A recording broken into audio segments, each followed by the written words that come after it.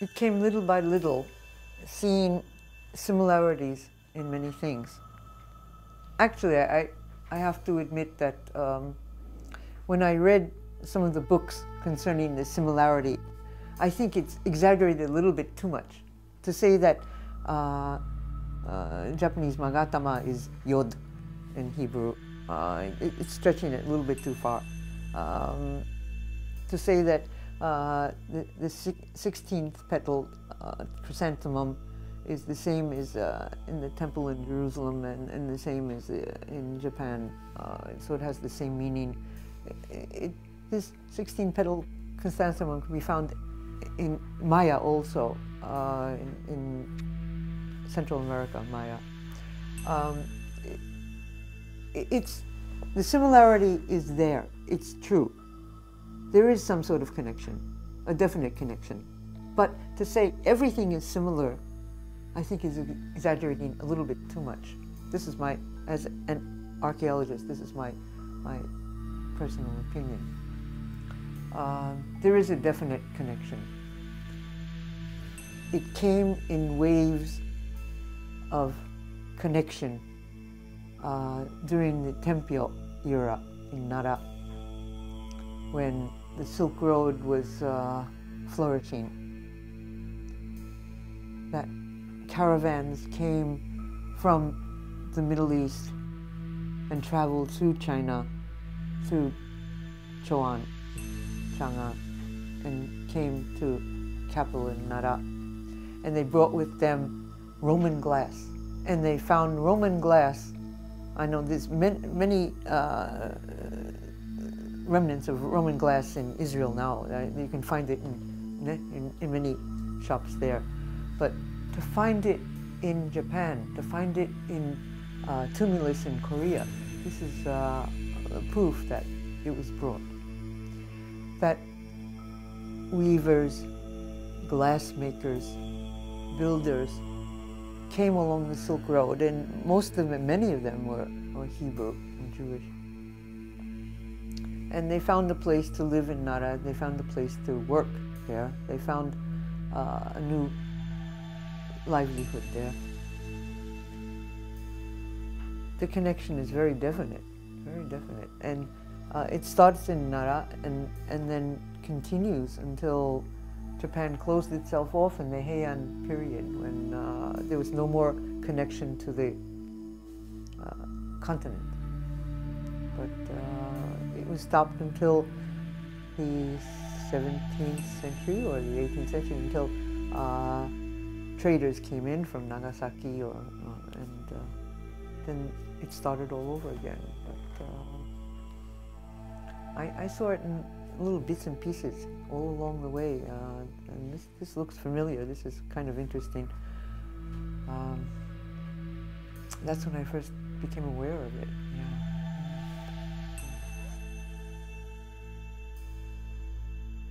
This uh, Hata clan, they themselves said that they were descendants of the first emperor of Qin, the emperor that unified China. And China comes from Qin, which is the, the name of the dynasty that they made. And this emperor of Qin was uh, something of a despot, you might say. He was a, uh, a dictator but he unified a warring country. He unified the language, he unified the money system, he unified the weights and measures system. He did burn books and he did oppose scholars because they were uh, already kind of rotted, you might say. I'm not defending the slaughters that he did, but the Emperor of Qin was a necessary in Chinese history. And uh, the Qin dynasty is in western China, which is very close to uh, Central Asia. And it is said that the Emperor of Qin, the first Emperor of Qin's father was Jewish. And uh, the Hata clan comes, is, uses the same Chinese character for Qin and they say that they were descendants of this Qin dynasty. So, uh, with his father being Hebrew and the clan traveling further eastward uh, over centuries to Japan is, is not something very strange. Um, if glass was found in Japan, then of course people had to bring the glass. And uh, it was, it was uh, in, uh, well, first there might have been a wave of it, but then there was a general migration. There were people traveling back and forth all the time. So I think that uh, this Hata clan, they traveled from China, from Western China, through uh, along the Silk Road, through uh, it wasn't Choan yet. It was uh, uh, a different capital, and uh, they traveled through Korea, and they spent a long time in Korea, and then they came into Japan, and of course uh, Korea at the time was also warring. First of all, I think they were very literate. They can, uh, they knew many languages. They knew the languages of the lands they passed through.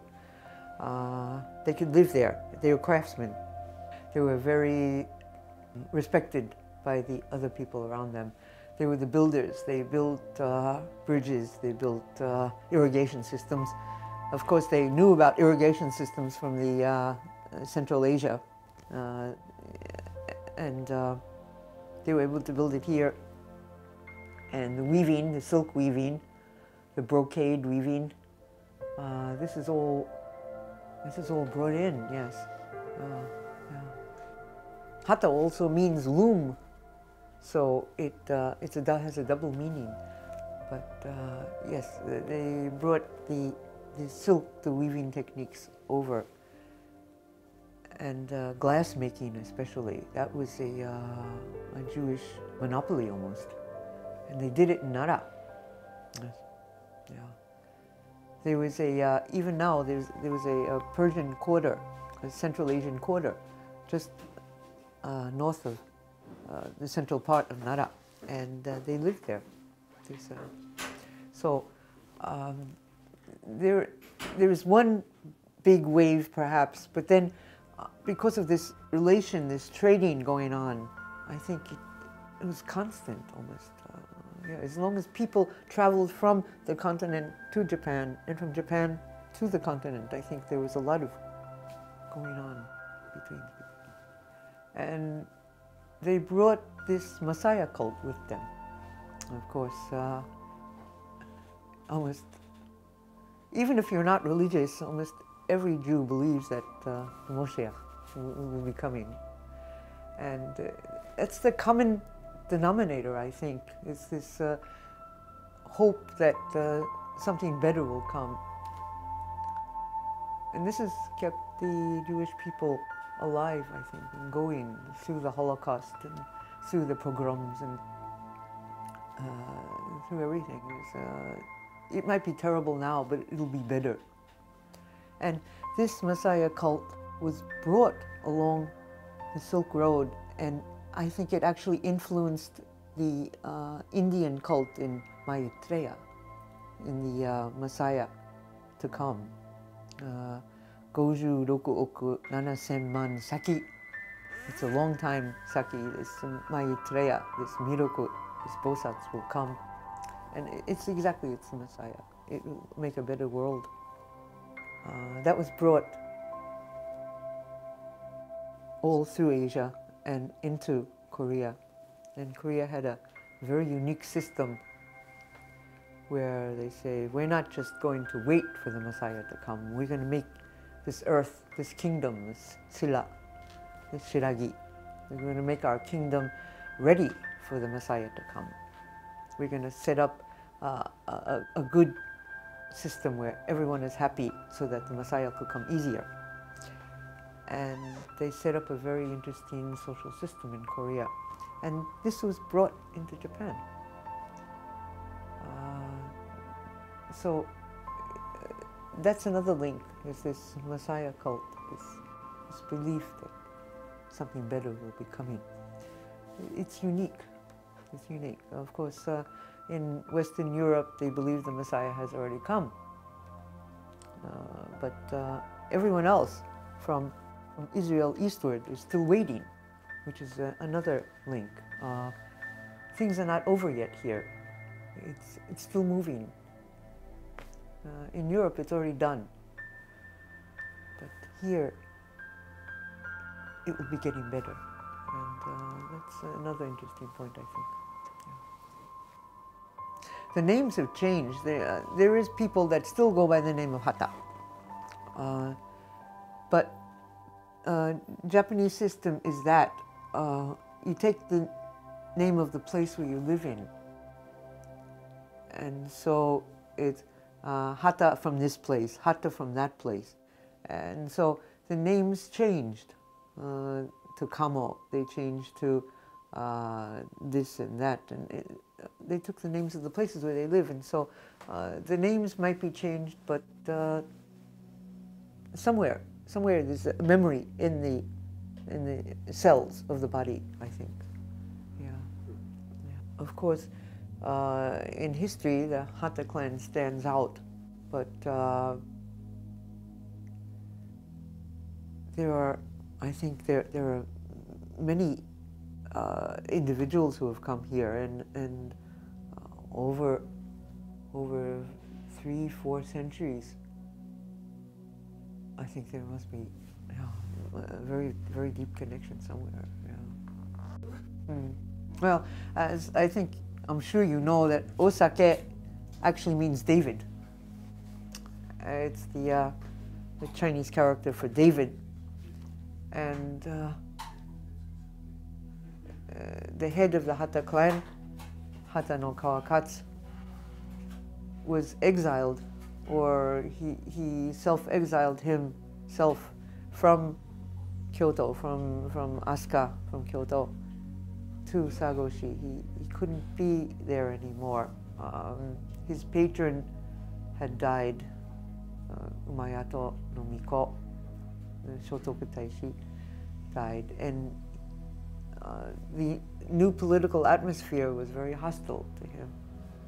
And so he self-exiled himself there, and he died there. But uh, yes, this Osake, this, this uh, shrine to David was established where he, uh, his boat landed. Yes, yes. He was uh, at least the renowned head. He had brothers, and one brother went to Wakayama, and uh, another went to uh, was it the Ise no Ho, and uh, one was uh, concerned with martial arts, and another was concerned with literature and the Hata clan was divided between, but this uh, Kawakatsu was the uh, advisor to Umayado, who established, you might say, the, the spiritual establisher of Japan. And uh, uh, the whole cult is based now on Umayado or Shotoku Taishi. He, was, he became a, a cult figure that uh, the patron of Buddhism, but he wasn't really you might say, I, I don't know how much Buddhist he was. I think he was Nestorian Christian or very close to Judaism. Uh, the things he wrote, what he believed in, um, what he was aiming for was uh, this establishment of a Messiah on earth. And he was very devoted to that, actually. This uh, Hata no Kawakatsu was his advisor, his teacher.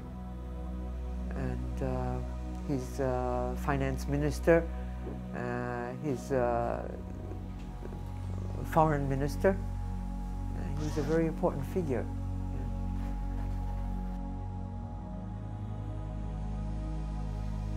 In every other religion, there is a head who is the authority. You know, there's the, the, Pope in Rome, there's the uh, Church of England, the uh, uh, um, Canterbury, the uh, Archbishop of Canterbury. There's always someone who is the authority, but in Judaism there's none. It's a religion where we agree to disagree. And there's no one that says that they have a monopoly on the teaching. It's the way that you interpret it, the way that you want to interpret it. And uh, perhaps this is the thing also that has kept it pliable and uh, when it's pliable, it's alive. It's like uh, in Tao Te Ching, in Lao Tzu, in the uh, Taoism. Lao Tzu says that uh, because the teeth are hard and rigid, they disappear first. But the tongue is soft, and so it lasts until you die. And perhaps in Judaism, there's this pliability also, and this is what has kept it alive. As a student of history, I've seen that the Jewish God, how it evolved, where it evolved from. If it evolved from the area of Ur in Iraq, and uh, it takes on the form of Baal, and it takes on the form of the other gods there. And it evolved into something that is a common denominator for a lot of the tribes there that they can agree on. But after that, no one agrees on anything. And uh, that's the interesting part of it, maybe. Um, I know that uh, ultra-Orthodox people would look at me especially and say, oh, this is not Jewish at all. And, and uh, there's a lot of uh, discrepancy in that, I know that. But uh, the, the tradition, uh, when you hear a certain melody, when you hear a certain uh, kind of note, when uh, it comes to a certain ceremony, like the, the Purim and, and the Hamantaschen comes out, and, and that, that is religion. You know, it's, it's what is in daily life. It, it, it's, you can have religion as a philosophy, but then any philosophy is equal. You can believe in anything. It's from here up. Humans' head from here up can, can imagine anything. It doesn't really matter. It's what's here down. And for someone like you who have done karate, you know that as much as your, your spirit is strong, it is also physical. You have to make it real. And to deny from here down is, uh, it will not get anywhere. It's, it's only going bad. So any philosophy, any religion is from here up, but it's the way that it's embodied, the way that it's lived, the way that it's uh, uh, enlivened. From here down, that makes it a living religion.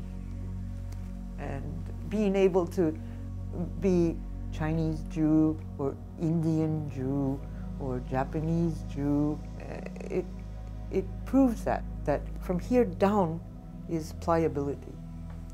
And that is what has kept it alive in places that other religions can't go.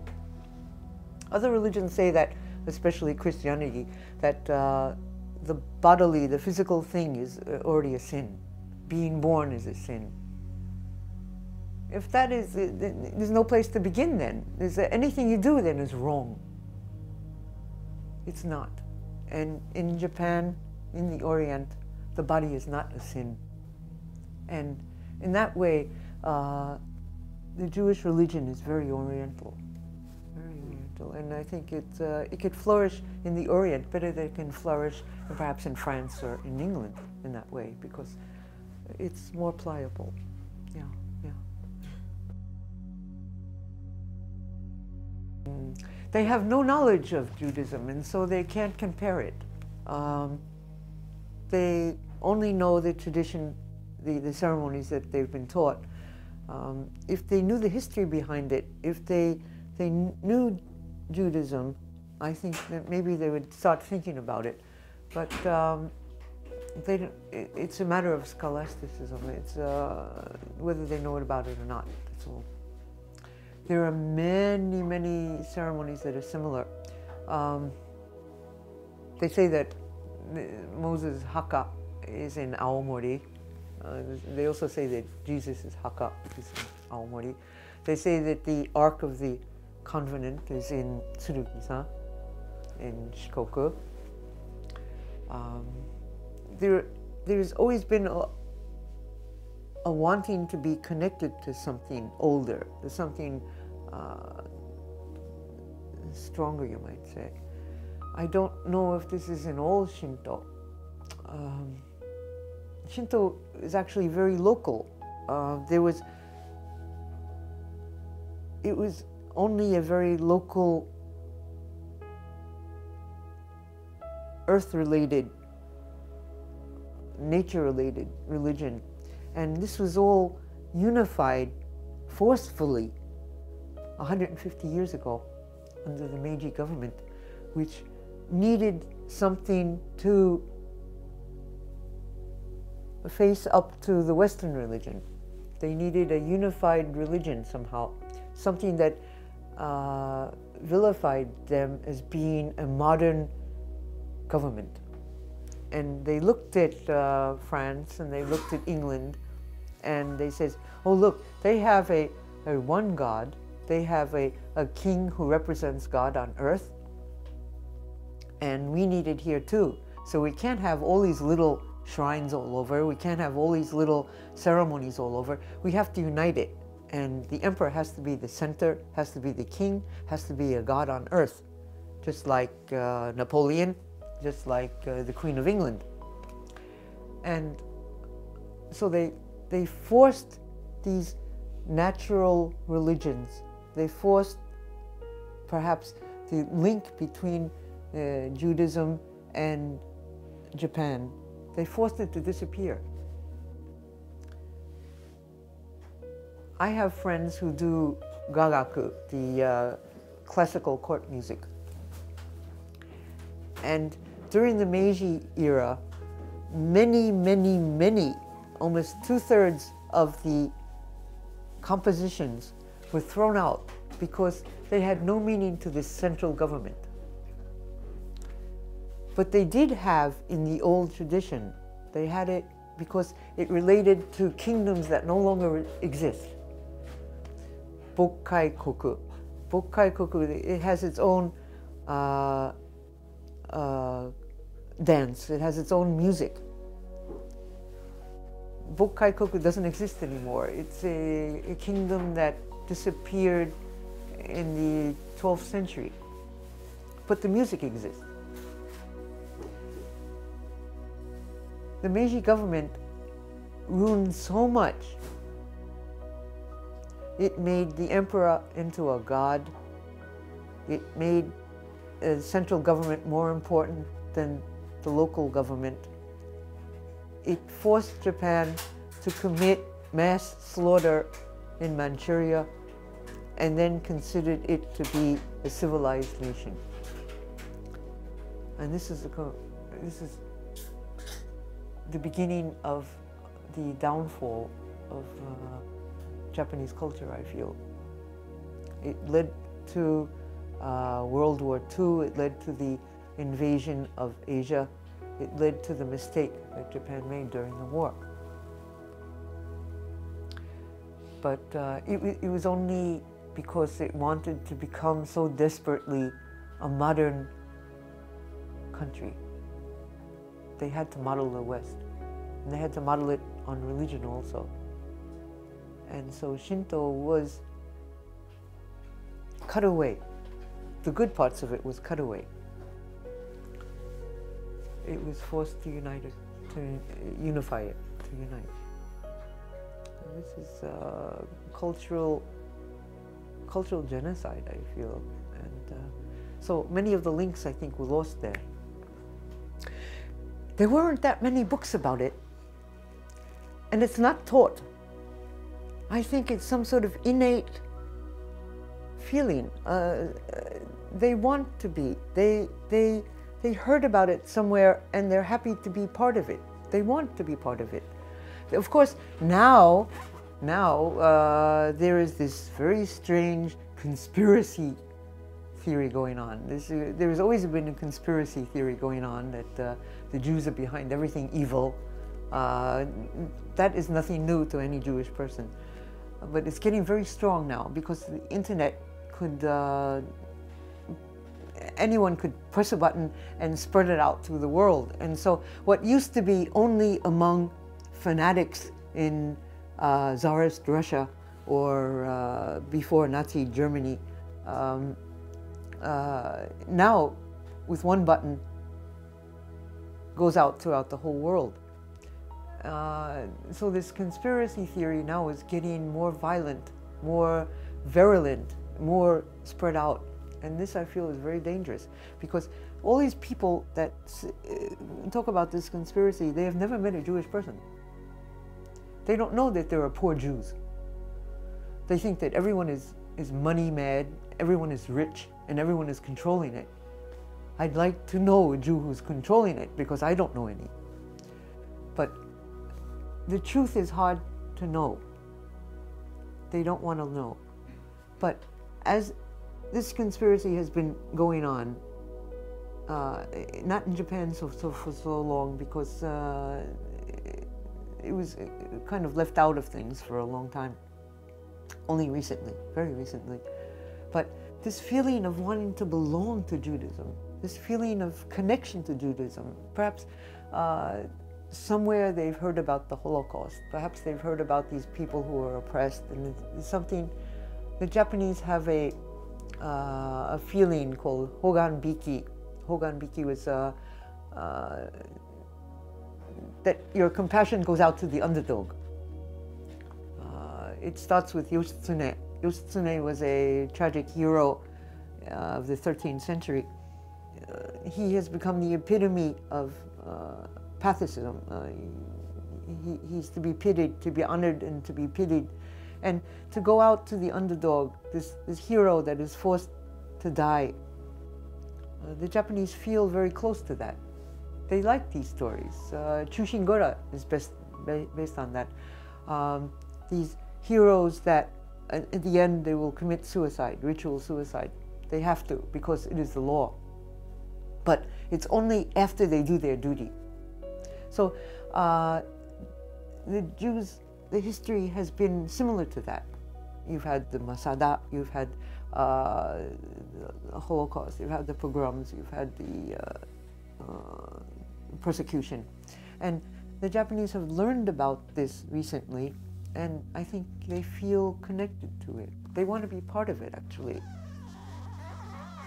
Uh, and the more they know about the tradition, they hear the music or they see something, I think they'd be very touched with it because it's a very warm religion. It's like I said, it's not from here up, it's from here down. And it's something they can relate to. It's not uh, uh, difficult Gnostic theology. It's something that you sit there, you eat, you break bread with them, you know, and uh, it, it's something living, something viable. And I think that's what they feel comfortable with, perhaps. Yeah. What do we know about the Yamabushi? Ah. This is interesting. That's interesting. Yes, I was sort of surprised to see uh, Tengu wearing tefillin. And uh, I says, wait, this is, uh, I've never seen this anywhere. It does not exist in India. Uh, they paint things in India, but they don't have tefillin. They don't go on the mountain and, and wait for visions there. And uh, when I when I saw Yamabushi, when I saw them wanting to be Tengu, I, I tried to research that and found out that yes, it goes back to the Hata clan again. That um, uh, the Hata clan was forced to go into the mountains when uh, things became kind of hot, when the, the, political situation changed. They were forced to go into northern Kyoto and they became Tengu. And the, the tradition, I think, has been given down. This idea of uh, uh, philosophy, uh, mountain philosophy, and uh, martial arts, and uh, this, this pliable way of living, this uh, closeness to, how shall I say, wanting to become one with something that's ungraspable. And this is Yamabushi cult. And yes, it goes back to the Hata clan, yeah. yeah,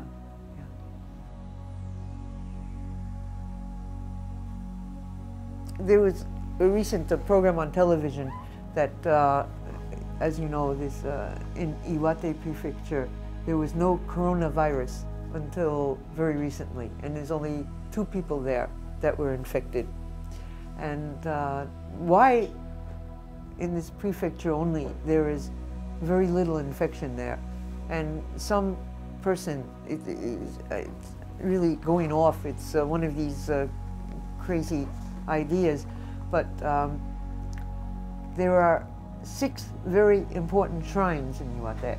And if you connect them, it makes the star shape. And they say that this uh, star power has kept Iwate safe from the coronavirus. I, where, where do you draw the line between religion and, and history is very sometimes very difficult. Um, uh, every year the students apply for entrance exams to university and they put their entrance exams in the post box and they do this to the post box and they, they, they expect the, some sort of divine intervention to go with their application and they will get into the university. And so where do you put in Japan this, this uh, line is very difficult.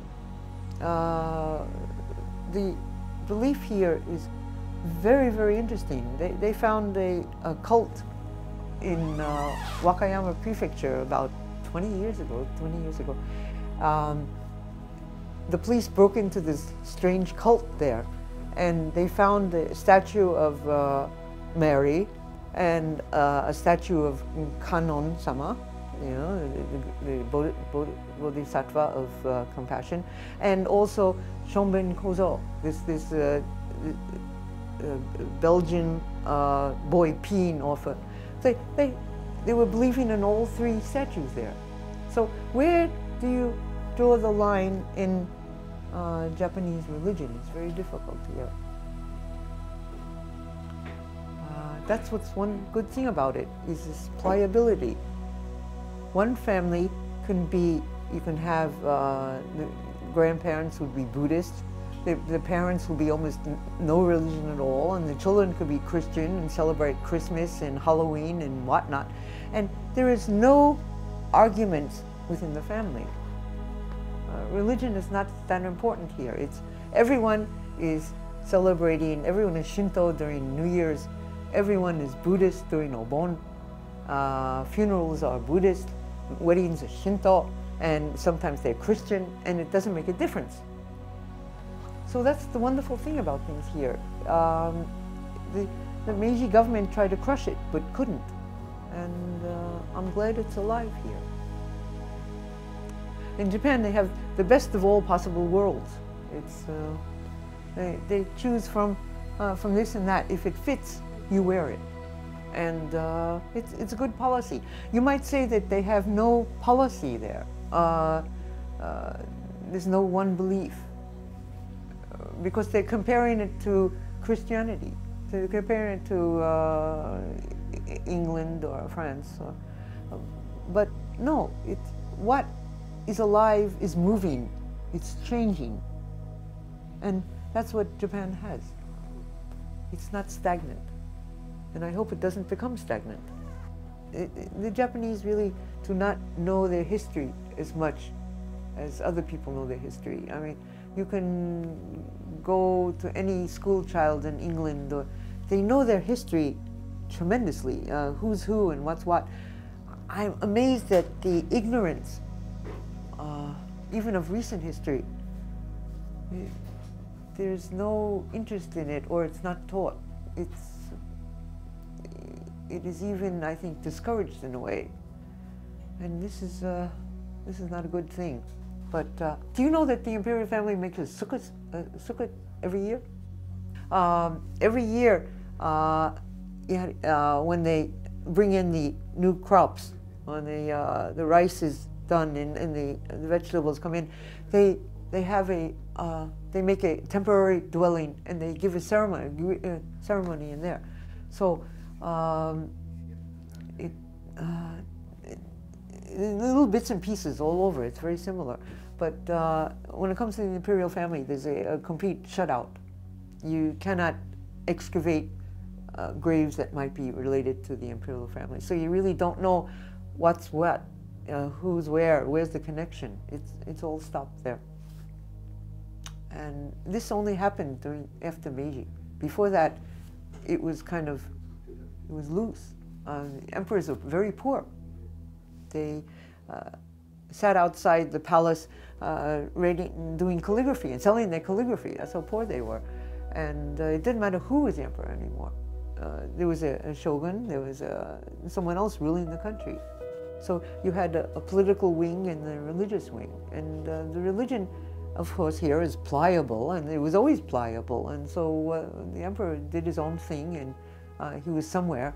But as long as the society was uh, straight and continuing, there was no worry about it. And so the Japanese have become very complacent about their religion. They don't have to know about it. They don't really want to know about it. They don't want to know about their history. And so it, uh, it's very hard to dig things out. Why do you believe in this? Why do you do this ceremony? Why do you, do you purify yourself like this? Why do you believe in it? And they can't give you an answer because they don't know. They don't know. They haven't studied it. There's, there's no reason to know. It's there. It's okay. You know? One thing that I really am fascinated in is this idea of uh, uh, toko waka, this idea of renewal. You go to Israel and or Egypt, and like you said on the telephone, everything is made of stone, and it lasts. It's, it lasts for. Uh, you go to Iraq and you find uh, 5,000 years. You, you, go to India, you can find uh, Mohenjo-daro. You can find uh, that's going back 6,000 years. You can you can go Egypt and it, it's in stone. But uh, because of the weather here, everything rots and things are made of wood. Because of the uh, rain and the good forest, Japan has made everything of wood. And because it's made of wood, it has to be renewed. But not only that, spiritually it has to be renewed. Other things, they are happy, oh, Oh, I, my, I like antiques. Uh, this antique is uh, 300 years old. This goes back to the Italian Renaissance. Everyone is, is, they're boasting of how old it is. But in Japan, they say how new it is. Of course, Horyuji is the oldest wooden structure in the world. But that is kind of besides the point. It's, uh, it, it doesn't have to be old, it just is old. They don't, they don't keep it old. It just lasted because the craftsmen there knew what they were building. When Japanese carpenters cut a tree and they stand it up, they make sure that the north side of the tree stays on the north side and that the directions, the, the tree stands in the same direction that it stood in the forest because that's the way it grew and that's the way it'll last. So they take advantage of the natural elements as it is.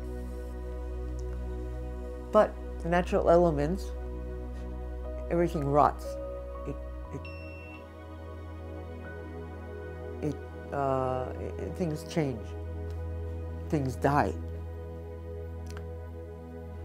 And so it has to be renewed the spirit must be renewed.